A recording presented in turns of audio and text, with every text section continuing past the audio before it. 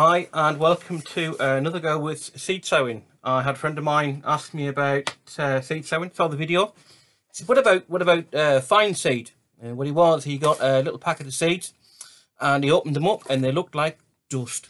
Um, and he was a little preempt about that. He said, well, how do you do it?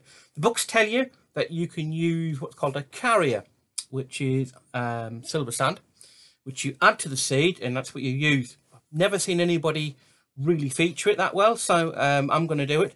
But I was taught using sugar, and where sugar is, it's um, easy to see. You've got loads of it in your cupboard, and it's cheap. And obviously, uh, the sugar is very handy for tea and coffee as long as you haven't got any seeds left in it. So the thing to do is uh, get your compost as I did before. You knock it down. Don't put too much on your potting bench because if you're using a fine seed, you won't see it in the compost. And to, be, to potentially, this could be wasted. So don't go crazy. Ideally, you can always fill your container up first, loosely, just to see how much you put on your bench. All right, we'll give that a knockdown. Um, if you're not too, if you've got one without any holes in, all I do is just use your scissors and just put a couple of nicks in the corners, like that.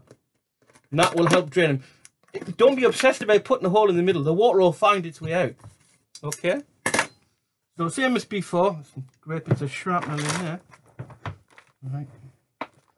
Now, sowing seed for me is great because it's a great way of getting a bit of headspace if you're struggling a bit.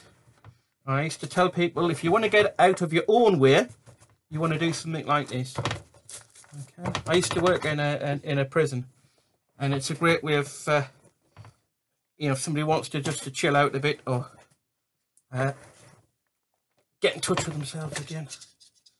So knock it down like I did before. You saw it off like that. Get it nice and level. Press board. Like I said you could use one of these to pin it down with. Press board works quite well. You must be level all right. Move that out of the way. Now, this is where it gets interesting. I've got my high-tech uh, seed sower made with a milk carton. You could use, um, most people used to use envelopes. Uh, back in the day, we used to use something called pay packets. Do you remember them? Um, so you could put your, your sand or your stuff in there. But this way works quite as well. So most people say, well, what measurements have we got? Well, it, what you tend to have is a pinch of seed uh, so this seed here is not much bigger than the grains of sugar. You wouldn't think it, but I don't know if you can see there, that's 250 seeds in there. Um, that's plenty for me. So that works out to be about a pinch. So you're looking at the pinch of seeds into your seed sour. And what you use ordinary sugar, ordinary, you know, milk two sugars, ordinary sugar. You want about half a level teaspoon because the thing is, if you're using all sugar, whatever sugar you use, you're going to have to sow it. Give it a swirly whirly round. I have to do this standing up. So you can see what we're doing. Get it all mixed up and gently, so you can see, work your way across. And the idea is, as the sugar goes across the top of the pot, it will put the seed. Do not look at the seed sower. Keep your eye on the tray. And if the sugar is even, and every now and again, give it a rattle round. Keep moving it round. Don't think you'll get it all on one hit. Just gradually, gradually. What the sugar does is it modifies the seed to come out nice and even. Alright? And it, it works on really, really fine seed as well. Much finer than this. If you can't handle the seed with a seed sower or you can't pick it up, this is a great way of doing it. And also, when you water it, sugar disappears, which is great. So if you want to practice, just use sugar. And I guarantee after a while, just keep swirling it around. Okay, get just get a good even action with it. Like I said, try try it with ordinary sugar for a couple of times to see if you can get it. If you get most of the sugar in the pot, you're winning.